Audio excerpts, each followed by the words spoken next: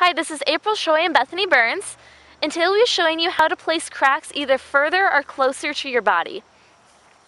If you do an overhanded flick, which is a very, very linear crack, it's going to be the full extension of the whip away from your body, and the sound's going to go directly forward. If you do a very rotational crack, such as a coachman's crack, it's actually going to crack right next to you, and the sound's going to go pretty much upwards, occasionally with a little bit of backwards.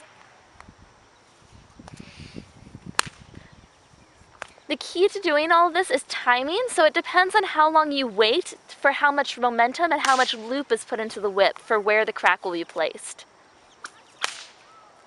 Again, with a flick, which is very linear, it's going to be all the way out, and this is what it will look like in slow motion.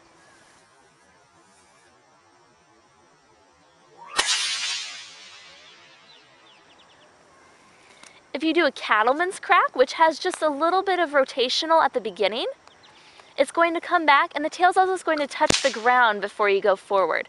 This will place the crack at about three quarters length of the whip away from you.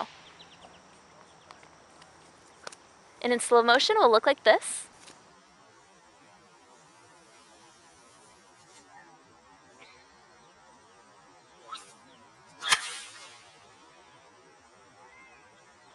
And if you do what is called a circus crack, which is very similar to a cattleman's crack, but you wait even longer and the tail will be slightly in front of you before you crack, the sound's going to go up and forward and be about half a whip length away from you.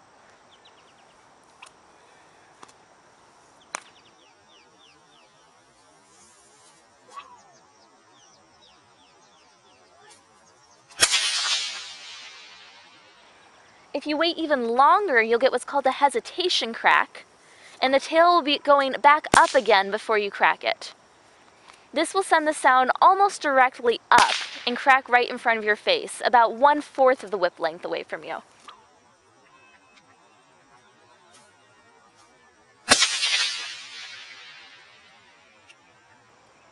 Even more extreme is the coachman's crack, which has it so it's all the way back in front of you for the second time before you crack it. This will send the sound basically straight up and crack right next to you.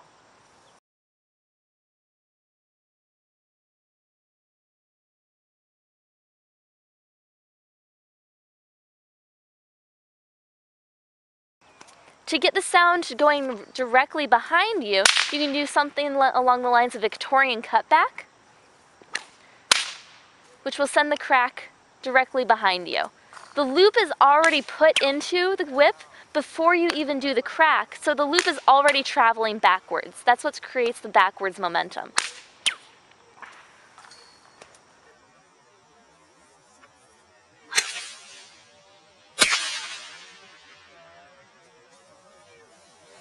So again, to create a different direction or a different distance it, all it takes is changing the timing of how you do your crack.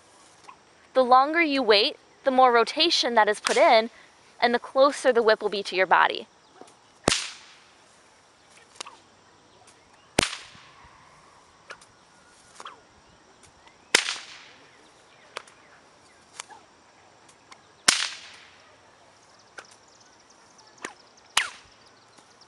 Hopefully this will give you a better understanding and more control of where your whip goes, and happy cracking!